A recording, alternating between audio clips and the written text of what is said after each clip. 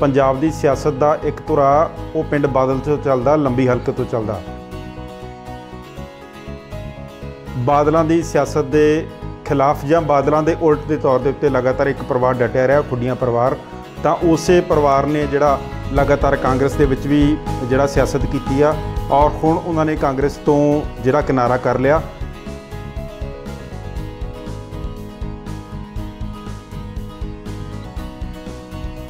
ਲੰਬਾ ਚਿਰ ਪਾਰਟੀ ਦੇ ਨਾਲ ਰਹੇ ਹੋ। ਜੀ। ਬੜੇ ਜਿਹੜਾ ਕਸ਼ਮਕਸ਼ ਚੱਲਦੀ ਆ ਰਹੀ ਸੀ ਜਾਂ ਮਨ 'ਚ ਵੀ ਬੋਲ ਰਹੇ ਹੋਣਗੇ ਕਈ ਲੋਕ ਵੀ ਆਖਦੇ ਹੋਣਗੇ ਕਿ ਯਾਰ ਸਰਕਾਰ ਬਣ ਗਈ ਪਰ ਸਰਕਾਰ ਬਣਨ ਤੋਂ ਬਾਅਦ ਆਪਣੇ ਕੰਮ ਨਹੀਂ ਹੋ ਰਹੇ।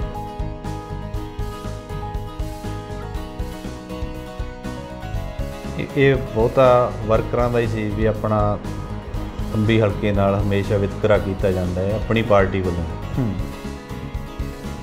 ਮੈਨੂੰ ਤਾਂ ਪ੍ਰਧਾਨ ਸਾਹਿਬ ਦਾ ਵਿਚਾਰਿਆਂ ਦਾ ਫੋਨ ਆਇਆ ਸੀਗਾ ਨਵਜੋਤ ਸਿੰਘ ਸਿੱਧੂ। ਸਿੱਧੂ ਸਿੰਘ ਸਿੱਧੂ ਹੋਰਾਂ ਦਾ ਵੀ। ਹੂੰ।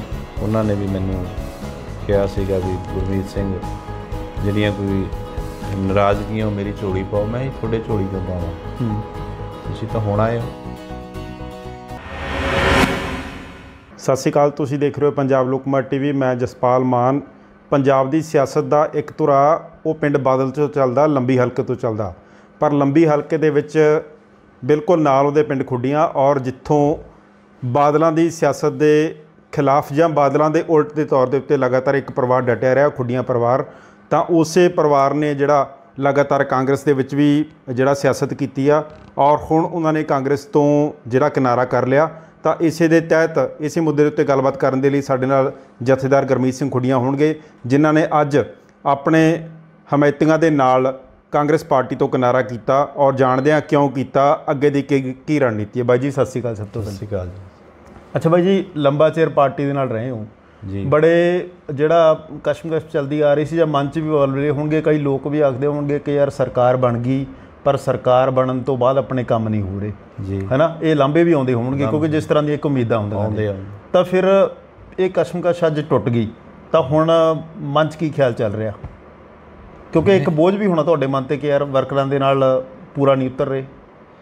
ਇਹ ਬਹੁਤਾ ਵਰਕਰਾਂ ਦਾ ਹੀ ਸੀ ਵੀ ਆਪਣਾ ਲੰਬੀ ਹਲਕੇ ਨਾਲ ਹਮੇਸ਼ਾ ਵਿਤਕਰਾ ਕੀਤਾ ਜਾਂਦਾ ਹੈ ਆਪਣੀ ਪਾਰਟੀ ਵੱਲੋਂ ਹੀ। ਤੇ ਆਪਾਂ ਹਮੇਸ਼ਾ ਇਮਾਨਦਾਰੀ ਨਾਲ ਇਹਨਾਂ ਦੀ ਇਮਦਾਦ ਕਰਦੇ ਆਂ ਨਾਲ ਚੱਲਦੇ ਆਂ ਕਦੇ ਕਿਸੇ ਗੱਲ ਦੀ ਘਾਟ ਨਹੀਂ ਇਥੋਂ ਮਹਿਸੂਸ ਹੋਣ ਦਿੱਤੀ। ਹੂੰ। ਤੋਂ ਫਿਰ ਕਾਫੀ ਚਿਰ ਦਾ ਸਾਰਿਆਂ ਵਿੱਚ ਹੀ ਚੱਲਦਾ ਸੀ। ਹੂੰ।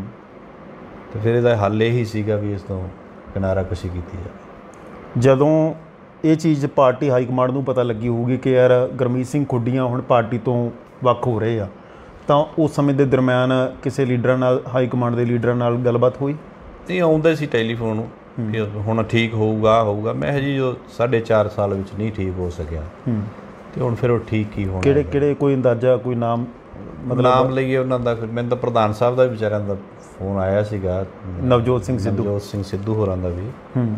ਉਹਨਾਂ ਨੇ ਵੀ ਮੈਨੂੰ ਕਿਹਾ ਸੀਗਾ ਵੀ ਗੁਰਮੀਤ ਸਿੰਘ ਜਿਹੜੀਆਂ ਕੋਈ ਨਾਰਾਜ਼ਗੀਆਂ ਮੇਰੀ ਝੋਲੀ ਪਾਓ। ਮੈਂ ਹੀ ਤੁਹਾਡੇ ਝੋਲੀ ਕਿਉਂ ਪਾਵਾਂ? ਹੂੰ। ਤੁਸੀਂ ਤਾਂ ਹੁਣ ਆਏ ਹੋ। ਮਤਲਬ ਕਹਿੰਦੇ ਇੱਕ ਤਰੀਕੇ ਨਾਲ ਬੇਨਤੀ ਕੀਤੀ ਸੀ ਕਿ ਤੁਸੀਂ ਪਾਰਟੀ ਦੇ ਵਿੱਚ ਟਿਕੇ ਰਹੋ। ਹਾਂ ਉਹਨਾਂ ਨੇ ਇਹ ਕਿਹਾ ਹੋਇਆ ਸੀ। ਹੂੰ। ਬਾਈ ਉਧਰਲੇ ਪਾਸੇ ਨਵਜੋਤ ਸਿੰਘ ਸਿੱਧੂ ਅੱਜ ਤੁਹਾਨੂੰ ਪਤਾ ਹੀ ਹੈ ਕਿ ਤਾਜਪੋਸ਼ੀ ਕਰ ਰਹੇ ਆ ਪ੍ਰਧਾਨਗੀ ਦਾ ਸਮਾਗਮ ਸੀਗਾ। ਇਹ ਦਿਨ ਕੋਈ ਖਾਸ ਕਰਕੇ ਚੁਣਿਆ ਜਾਂ ਨਹੀਂ ਕੋਈ ਨਹੀਂ ਮੈਂ ਅਸਲ ਆਇਆ ਹੀ ਰਾਤ ਸੀ ਬਾਹਰੋਂ। ਅੱਛਾ। ਹੁਣ ਕੱਲ ਹੀ ਆਇਆ ਸੀ। ਹੁਣ ਮਨ ਦੇ ਵਿੱਚ ਕੀ ਮਤਲਬ ਜਦੋਂ ਆਪਸ ਦੇ ਵਿੱਚ ਬੈਠ ਕੇ ਆਪਣੇ ਜਿਹੜੇ ਤੁਹਾਡੇ ਸ਼ੁਭ ਚਿੰਤਕ ਕਹਿ ਲਓ ਆਮ ਲੋਕ ਕਹਿ ਲਓ ਉਹਨਾਂ ਨਾਲ ਗੱਲਬਾਤ ਹੁੰਦੀ ਆ। ਨਹੀਂ ਅੱਜ ਤਾਂ ਸਿਰਫ ਇਹੀ ਟੈਲੀਫੋਨ ਆਈ ਜਾਂਦੇ ਆ ਵੀ ਇਹ ਜਿਹੜੀ ਖਬਰ ਹੈ ਠੀਕ ਹੈ ਜੀ। ਹੂੰ। ਤੇ ਜਾਂ ਕੋਈ ਹੋਰ ਸੱਜਣ ਮਿੱਤਰ ਜੇ ਇਸ ਗੱਲ ਦਾ ਕੋਈ ਬੈਠ ਕੇ ਫਿਰ ਕਰਦੇ ਆ ਕੀ ਹੁੰਦਾ ਹੈ।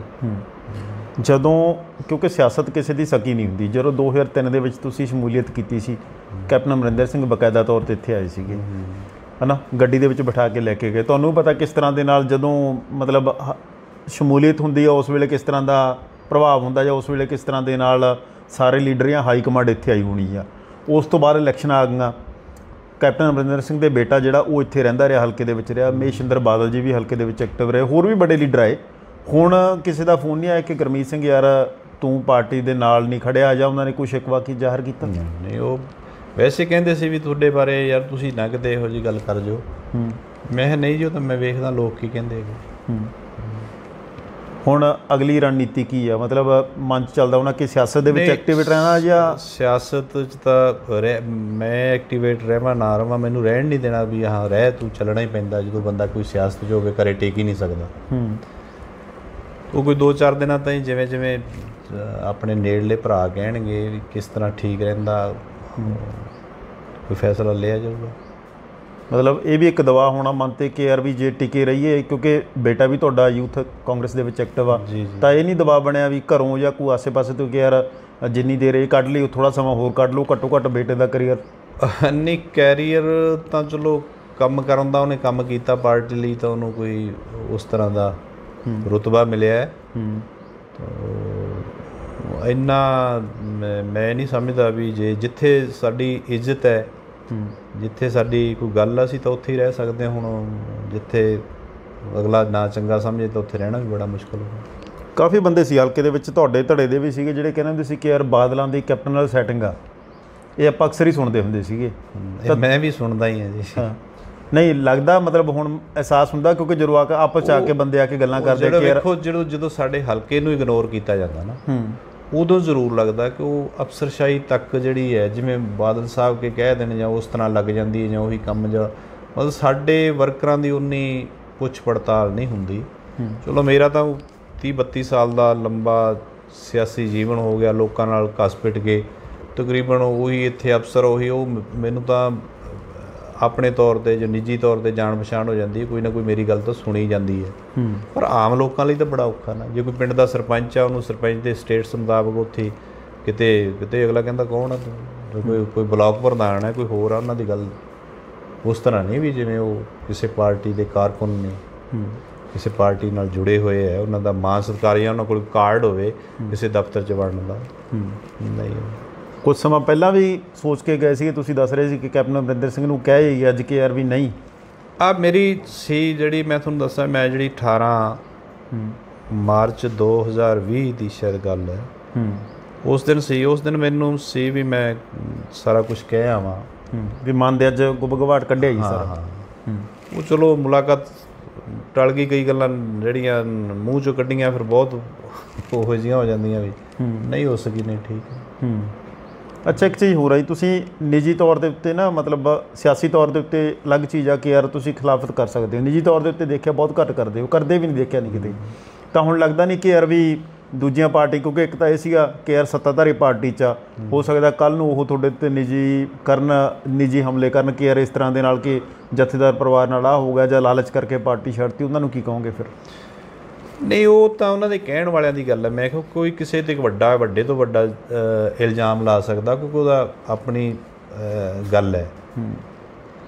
ਜਿਹੜੇ ਲਾਲਚ ਨੂੰ ਜਾਂ ਜਿਹੜੇ ਲੋਕ ਉਹ ਇਲਾਕੇ ਵਾਲੇ ਜਾਂ ਜਿਹੜੇ ਲਾਉਣ ਵਾਲੇ ਹੋਣਗੇ ਉਹਨਾਂ ਦੀ ਜ਼ਮੀਰ ਕੀ ਆਦੀ ਹੋਊਗੀ ਤੇ ਜਾਂ ਜਿਹੜੇ ਸੁਣਨ ਵਾਲੇ ਹੋਣਗੇ ਉਹਦਾ ਕੀ ਰਿਜ਼ਲਟ ਕੱਢਣਗੇ? ਮੈਨੂੰ ਕੋਈ ਫਿਕਰ ਨਹੀਂ ਇਸ ਗੱਲ ਦਾ। ਜੇ ਮੇਰੇ ਮਨ 'ਚ ਕੋਈ ਲਾਲਚ ਹੈ ਜਾਂ ਨਹੀਂ ਲਾਲਚ ਤਾਂ ਮੈਨੂੰ ਹੀ ਪਤਾ ਹੋ ਸਕਦਾ। ਮੈਂ ਇਸ ਗੱਲ ਤੋਂ ਪਾਸੇ ਆ ਅੱਛਾ। ਨਾ ਹੀ ਮੈਨੂੰ ਇਸ ਗੱਲ ਦਾ ਵੀ ਲੋਕ ਇਹ ਕਹਿਣਗੇ ਵੀ ਆਹ ਕੁਝ ਕਰ ਗਿਆ ਕੁਝ ਕਿਉਂ? ਜਦੋਂ ਆਪਾਂ ਕੁਝ ਕਰਦੇ ਨਹੀਂ ਤੇ ਕੀਤਾ ਨਹੀਂ। ਤੇ ਲੋਕਾਂ ਨੂੰ ਇਸ ਗੱਲ ਦਾ ਪਤਾ ਹੈ ਮੇਰੇ ਵਿਰੋਧ 'ਚ ਚਾਹੇ ਅਕਾਲੀ ਦਲ ਵਾਲੇ ਚਾਹੇ ਕੋਈ ਹੋਰ ਪਾਰਟੀਆਂ ਨਾਲ ਸੰਬੰਧਿਤ ਹੈ। ਜੇ ਉਹ ਸਾਡੇ ਘਰ ਦਾ ਮਾਨ ਸਤਿਕਾਰ ਕਰਦੇ ਤਾਂ ਵੱਡੀ ਗੱਲ ਉਹਦੇ 'ਚ ਇਮਾਨਦਾਰੀ ਦੀ ਅਸੀਂ ਨਾ ਹੀ ਤਾਂ ਦੋਗਲੀ ਨੀਤੀ ਰੱਖਦੇ ਆ ਨਾ ਹੀ ਕਿਸੇ ਨਾਲ ਠੱਗਾ ਠੋਰੀ ਵਾਲੇ 'ਚ ਸਾਡਾ ਨਾ ਹੀ ਕੋਈ ਆ ਘਰ ਦੀ ਖੇਤੀ ਹੈ ਕੋਈ ਬੜੇ ਕੋਈ ਕਾਰੋਬਾਰਾਂ ਨੂੰ ਹੱਥ ਪਾਇਆ ਤੁਹਾਨੂੰ ਪਤਾ ਹੀ ਹੈ ਅੱਛਾ ਸੁਖਬੀਰ ਬਾਦਲ ਨੇ ਐਲਾਨ ਕੀਤਾ ਮੈਂ ਲੰਬੀ ਤੋਂ ਇਲੈਕਸ਼ਨ ਲੜੂੰਗਾ। ਉਧਰੋਂ ਕਾਂਗਰਸ ਦੇ ਵਿੱਚ ਵੀ ਚਰਚਾਵਾਂ ਚੱਲ ਰਹੀਆਂ ਸੀ ਕਿ ਮਹੇਸ਼ਿੰਦਰ ਬਾਦਲ ਦਾ ਬੇਟਾ ਫਤਿਹ ਇਲੈਕਸ਼ਨ ਲੜਨਗੇ। ਕਿਤੇ ਤਾਂ ਨਹੀਂ ਕਿ ਯਾਰ ਵੀ ਇਸ ਵਾਰ ਵੀ ਲੰਬੀ ਲੰਬੀ ਦੇ ਉੱਤੋਂ ਨੰਬਰ ਨਹੀਂ ਲੱਗਣਾ ਕਿ ਇਸ ਕਰਕੇ ਪਾਰਟੀ ਛੱਡਤੀ? ਨਹੀਂ ਇਹ ਨਹੀਂ ਗੱਲ ਨਾ ਹੀ ਤਾਂ ਮਹੇਸ਼ਿੰਦਰ ਬਾਦਲ ਹੋਰਾਂ ਨਾਲ ਘਰ ਵਾਰੀ ਗੱਲ ਹੈ ਤਿੰਨ ਇਲੈਕਸ਼ਨ ਉਹਨਾਂ ਨੇ ਲੜੇ ਆ ਤੇ ਮੈਂ ਹੀ ਉਹਨਾਂ ਦੀ ਕਮਾਂਡ ਕਰਦਾ ਸੀ ਕਦੇ ਉਹਨਾਂ ਨੇ ਮੇਰੇ ਤੇ ਬੇਭਰੋਸਗੀ ਜਾਂ ਮੈਂ ਉਹਨਾਂ ਤੇ ਬੇਭਰੋਸਗੀ ਨਹੀਂ ਕਰ ਸਕਦਾ। ਇਹ ਜਾਂ ਤਾਂ ਮੀਡੀਆ ਨੂੰ ਐਵੇਂ ਤੇ ਜਾਂ ਕੁਝ ਲੋਕਾਂ ਨੂੰ ਗੱਲ ਫੈਲਾਉਣ ਦੀ ਹੁੰਦੀ ਹੈ ਨਾ ਕੋਈ ਫਤਿਹ ਸਿੰਘ ਹੋਰਾਂ ਨੇ ਇਹ ਗੱਲ ਕਹੀ ਸੀਗੀ। ਤੇ ਜੇ ਅ, ਹੋਰੀ ਲੜਦੇ ਰਹੇ ਆ ਤੇ ਮੈਂ ਨਾਲ ਰਿਹਾ ਤਾਂ ਕਦੇ ਉਹਨਾਂ ਨੂੰ ਇਹ ਨਹੀਂ ਲੱਗਿਆ ਸੀ। ਜੇ ਹੁਣ ਵੀ ਲੜਨਾ ਹੁੰਦਾ ਤੇ ਉਹ ਮੈਨੂੰ ਦੱਸ ਦਿੰਦਾ ਵੀ ਬਾਈ ਜੀ ਮੈਂ ਇਲੈਕਸ਼ਨ ਲੜਨੀ ਹੈ ਤਾਂ ਮੈਨੂੰ ਕੋਈ ਇਹੋ ਜਿਹਾ ਇਤਰਾਜ਼ ਨਹੀਂ ਸੀਗਾ। ਮੈਂ ਕੋਈ ਇਕੱਲਾ ਮੈਂ ਹੀ ਤਾਂ ਨਹੀਂ ਇਲੈਕਸ਼ਨ ਲੜ ਸਕਦਾ ਕੋਈ ਵੀ ਬੰਦਾ ਲੜ ਸਕਦਾ। ਕੋਈ ਇਹੋ ਜਿਹੀਆਂ ਗੱਲਾਂ ਨਹੀਂ। ਰਹੀ ਗੱਲ ਸੁਖਵੀਰ ਬਾਦਲ ਹੋਰਾਂ ਦੀ ਵੀ ਉਹ ਚੋਣ ਲੜਨਗੇ। ਮੈਂ ਤਾਂ ਸਰਦਾਰ ਪ੍ਰਕਾਸ਼ ਸਿੰਘ ਬਾਦਲ ਦੇ ਖਿਲਾਫ ਲੜਨ ਲਈ ਤਿਆਰ ਸੀਗਾ ਉਹ ਤਾਂ ਮੈਨੂੰ ਉਹਦਾ ਬੇਟਾ ਹੈ।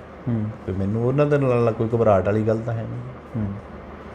ਹੁਣ ਚਰਚਾਵਾਂ ਇਹ ਵੀ ਹੈ ਵੀ ਕਿ ਆਮ ਆਦਮੀ ਪਾਰਟੀ 'ਚ ਸੋਚ ਸਕਦੇ ਹੋ ਕੁਝ ਉਹ ਜੋ ਭਰਾਵਾਂ ਦਾ ਵੇਖੋ ਜੇ ਲੋਕ ਲੋਕ ਕੁਝ ਵੀ ਕਹਿ ਸਕਦੇ ਵੀ ਕਿੱਥੇ ਕਰੀਏ ਕੀ ਕਰੀਏ। ਜੋ ਮੈਂ ਮੈਂ ਇਕੱਲੇ ਨੇ ਫੈਸਲਾ ਕਰਨਾ ਹੋਵੇ ਤਾਂ ਹੁਣ ਮੈਂ ਕਹਿੰਦੇ ਆ ਵੀ ਆਹ ਕਰਤਾ ਹੈ ਥੋੜਾ ਕਿਉਂਕਿ ਅੱਜ ਹੀ ਇਧਰਲੇ ਪਾਸੇ ਵਿਹਲੇ ਹੋਏ ਆ।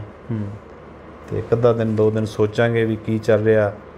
ਫਿਰ ਆਪਦੇ ਬੰਦੇ ਵੀ ਅੱਜ ਤੱਕ ਇਹਨਾਂ ਉੱਥੋਂ ਸਾਰੇ ਟਲ ਗਏ ਨੇ।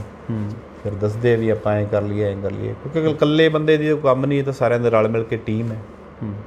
ਜੇ ਆਮ ਆਦਮੀ ਪਾਰਟੀ ਦੀ ਮੇਰਾ ਅਖੀਰਲਾ ਸਵਾਲ ਆ, ਆਮ ਆਦਮੀ ਪਾਰਟੀ ਦੀ ਹਾਈ ਕਮਾਂਡ ਚੱਲ ਕੇ ਆ ਜਾਂਦੀ ਹੈ ਉਧਰੋਂ ਤੁਹਾਡੇ ਸਮਰਥਕ ਵੀ ਕਹਿ ਦਿੰਦੇ ਆ ਕਿ ਹਾਂ ਕਿ ਫੈਸਲਾ ਕਰ ਲਓ। ਹਾਲਾਤ ਕੁਝ ਵੀ ਬਣ ਸਕਦੇ ਬਾਈ ਜੀ ਹੁਣ ਇਸ ਗੱਲ ਦਾ ਤਾਂ ਮੈਂ ਕੀ ਕਹਿ ਸਕਦਾ ਵੀ ਐਂ ਹੋ ਜਾਂਦਾ ਐਂ ਹੋ ਜਾਂਦਾ ਜੇ ਹੈ ਜੇ ਬੜੀ ਵੱਡੀ ਗੱਲ ਹੁੰਦੀ ਹੈ। ਪਰ ਤੁਹਾਡਾ ਮਨ ਕੀ ਕਹਿੰਦਾ? ਮੇਰਾ ਮਨ ਠੀਕ ਆ ਹੌਸਲੇ ਚ ਮਤਲਬ ਇਸੇ ਤਰ੍ਹਾਂ ਸਿਆਸਤ ਦੇ ਵਿੱਚ ਕਾਇਮ ਰਹੋਗੇ? ਰਹੂੰਗਾ ਜੀ। ਮਿਹਰਬਾਨੀ ਜੀ। ਸੋ ਇਹ ਸਨ ਗੁਰਮੀਤ ਸਿੰਘ ਖੁੱਡੀਆਂ ਜਿਨ੍ਹਾਂ ਨਾਲ ਗੱਲਬਾਤ ਕੀਤੀ। ਬਹੁਤ ਬਹੁਤ ਮਿਹਰਬਾਨੀ। ਤੁਸੀਂ ਇਸੇ ਤਰ੍ਹਾਂ ਪੰਜਾਬ ਲੋਕਮਤ ਟੀਵੀ ਨਾਲ ਜੁੜੇ ਰਹੋ।